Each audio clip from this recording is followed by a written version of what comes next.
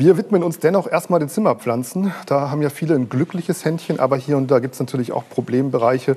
Stichwort Schädlinge. Richtig. Also Wollläuse fallen mir ein, Schildläuse und du hast noch was ganz anderes entdeckt. Ganz genau. Dieses, diesen Winter hat mich so ein Schädling so ein bisschen beschäftigt. Ich habe ein bisschen gebraucht, bis ich überhaupt draufgekommen mhm. bin, wer es ist. Und zwar der kalifornische Blütenkrebs. Und der ist so, so winzig. Also wenn du hier mal guckst, der ist wirklich, das ist so eine Falte von der Orchidee. Das ist jetzt die Larve. Die sind winzig klein und mhm. die treten auch nicht so in Massen auf. Und selbst wenige Schädlinge können nachhaltig so eine Pflanze schädigen. Das ist, ist das erwachsene Tier. Also man entdeckt sie kaum. Aber man sieht deutlich den Schaden. Mhm. Und der beginnt mit dem Aus Austrieb. Also die, die, kleine Spitze von so einem Austrieb wird geschädigt, da legen die ihre Eier rein und dann treibt die Pflanze einfach nicht mehr aus. Und so erkennt man es eigentlich auch. Mhm. Also wenn ich zum Beispiel die kleinen Monsteras, die, die sind total anfällig, ja, die sind nicht mehr mhm. richtig ausgetrieben. Dann habe ich eine Calathea oder auch so manche Orchideen, die nicht aus dem, aus dem Pott kommen. Da vielleicht, da muss man dann mal danach gucken. Mhm. Was kann ich machen, das ist so die, die, Spur.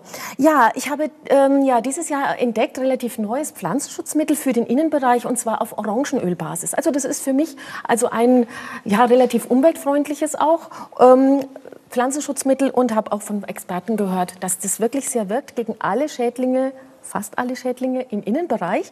Und, äh, und das muss man dann gerade bei diesen Blütentrips äh, so eine Art Blockbehandlung machen. Das heißt, ich muss innerhalb kürzester Zeit innerhalb von drei mhm. bis zehn mhm. Tagen dreimal spritzen. Und zwar richtig tropfnass. Also richtig ein gutes Sprühgerät, das fein sprüht, von unten, von allen Seiten tropfnass einsprühen. Mhm. Und dann bekommt man es in den Griff. Also und klingt kompliziert, aber es riecht vor allem gut, weil dieses Orangenöl, das wirklich, das ganz, ist hier ein tolles Aroma in Ganz der Luft. genau. Und um überhaupt auch drauf zu kommen, habe ich so etwas, nützen auch diese kleinen Blautafeln. Also die sind nicht so einfach zu bekommen, aber hier äh, kommen dann die erwachsenen Tiere, die kleben dann dran. Und ja, damit kann ja. man die auch schon so ein bisschen eingegrenzt. Gilt das auch für Wollläuse und Schildläuse so grundsätzlich? Nein, äh, also äh, Blautafeln, also nur mhm. bei den Trips. Und dieses ähm, Orangenöl, mhm. Präparat.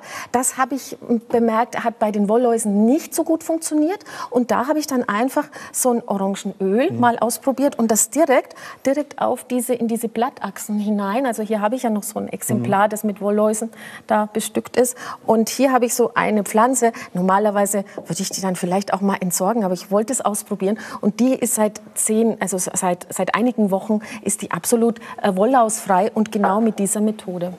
Okay, kann man das selbst machen? Also Öl und äh, einfach Orange auspressen, so mal kurz gedacht? Oder? Also das Orangenöl, das ist was ganz Spezielles. Okay. Also im äh, Haushaltswaren, also mhm. zum Putzen ist, kann man das auch verwenden.